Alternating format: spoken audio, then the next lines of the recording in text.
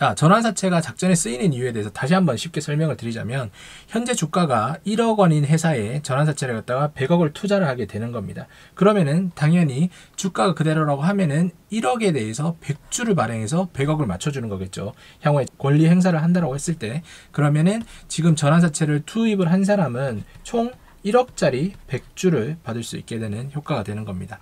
그런데 향후에 주가가 1억에서 5천만 원으로 하락을 하게 되는 거죠. 그러니까 의도적으로 이렇게 주가를 떨어뜨리는 거예요. 5천만 원 예시니까 그냥 보시고요.